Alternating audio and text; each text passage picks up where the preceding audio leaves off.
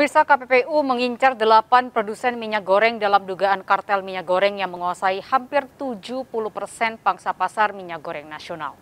Sejalan dengan KPPU, Koordinator Masyarakat Anti Korupsi Indonesia Maki Boyamin Saiman menyerahkan bukti tambahan terkait mafia minyak goreng yang diduga melibatkan delapan perusahaan besar.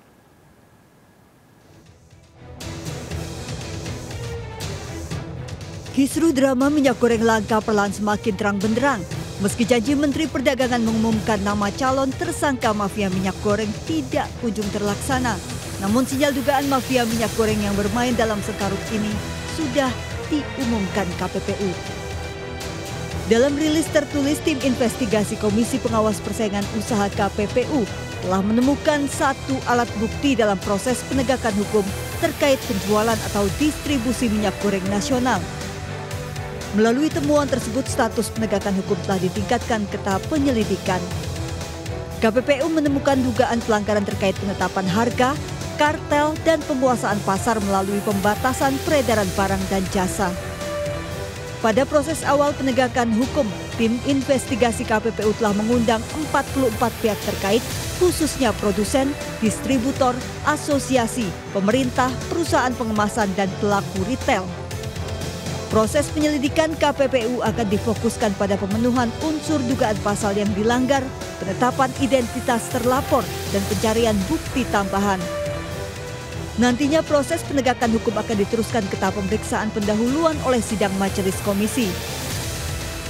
KPPU dapat menjatuhkan sanksi administratif berupa denda hingga maksimal 50% dari keuntungan yang diperoleh terlapor dari pelanggaran yang dilakukan atau maksimal 10% dari penjualan terlapor di pasar bersangkutan. KPPU saat ini mengincar 8 produsen minyak goreng dalam dugaan kartel minyak goreng yang menguasai hampir 70% pangsa pasar minyak goreng nasional.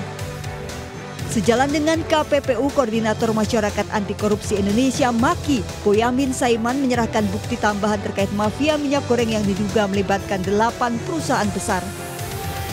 Modus yang dilakukan perusahaan-perusahaan besar itu dengan langsung mengekspor crude palm oil CPO atau minyak sawit mentah dengan nilai pajak hanya 5 persen. Sementara jika diekspor dengan kondisi siap pakai, para pemilik perusahaan harus membayar pajak 15 persen. Nah, tapi ternyata kejadiannya potong kompas, CPO itu yang harusnya kan dijadikan industri tapi langsung potong kompas langsung diekspor dan hanya bayar 5%.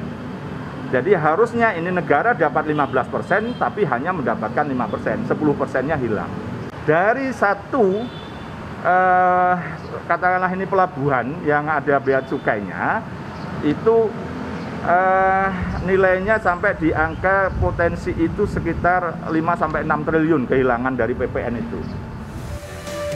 Atas ulah kartel minyak goreng negara dirugikan triliunan rupiah. Maki juga mensinyalir masih banyak lagi perusahaan di Sumatera yang diduga terlibat mafia minyak goreng.